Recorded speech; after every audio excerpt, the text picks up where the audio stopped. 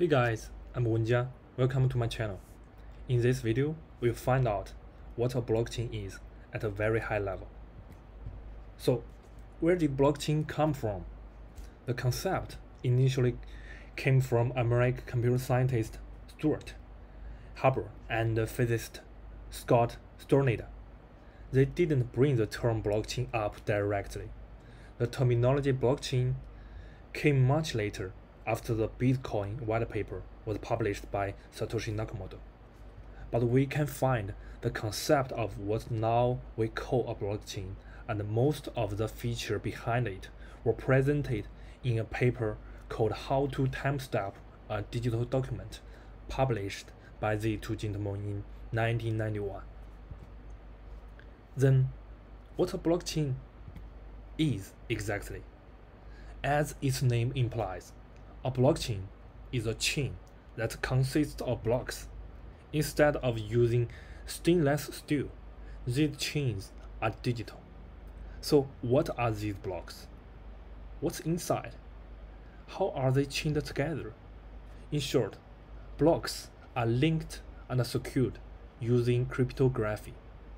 And this cryptography is a hash function called SHA-256. What is a hash and what's SHA-256? We'll get to this in a second. Now, let's have a look at blocks. What's inside a block?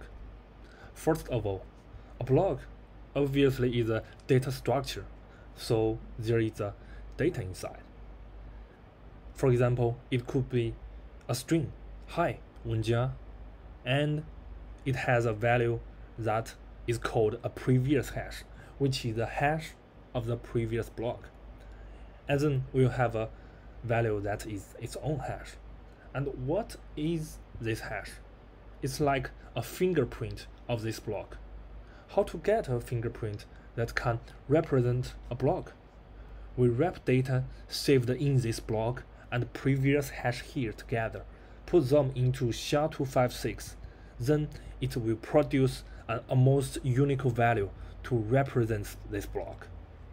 We'll dig into SHA-256 more in the next video. For now, we can just imagine that SHA-526 is a magic box.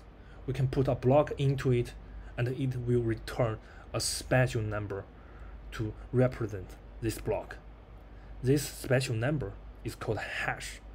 So it's clear what's going on here. The block here has its own hash and then it also has the previous hash which is contained within the block as a reference. As the name implies, the previous hash is the hash of the block that came before it. So let's have a look at that in action.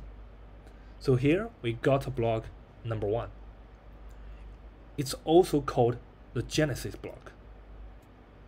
In, in a blockchain, the first block is called genesis block because after a blockchain is initialized, that block will forever stay in position number one. It will never change.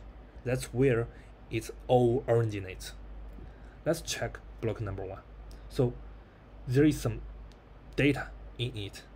And Genesis block is a little bit special compared to other blocks because it does not have a previous block apparently that's because it doesn't have a previous block.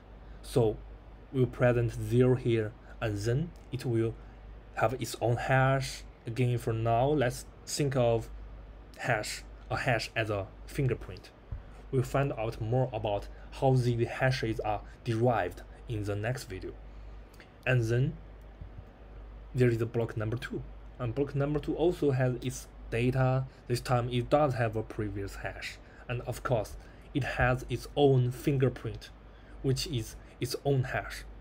And at, as you can see, the previous hash saved in block number 2 is exactly identical to block number 1 hash. And that is where the link comes from. That's why a blockchain is called a chain, because the blocks are cryptographically chained. And then there is block number 3. Unlike block, block number two. Block number three has a previous hash, which is the hash of block number one, number two, and it has its own hash again.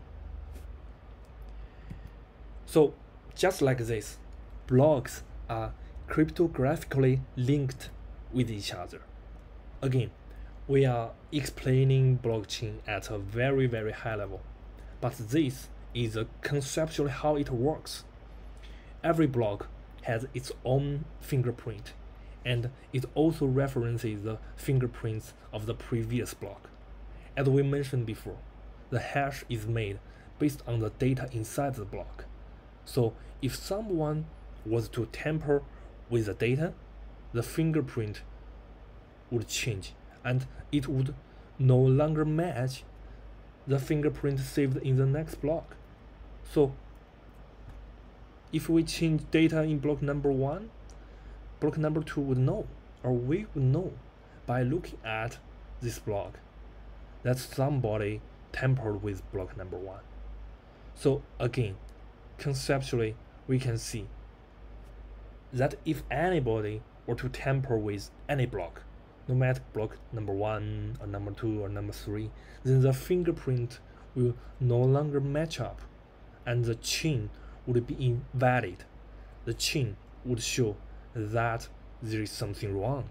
And that's why we say blocks are cryptographically linked together. So that is why block blockchain that is a blockchain at a very very high level to get us started. There are many more concepts to blockchain, like hash function SHA-256, which we mentioned in this video, and some other we didn't mention, like mining, consensus algorithm, distributed peer-to-peer -peer network, and immutable ledger. I'll introduce them one by one in this channel. Thanks for watching. I'm Wenjia. See you in the next video.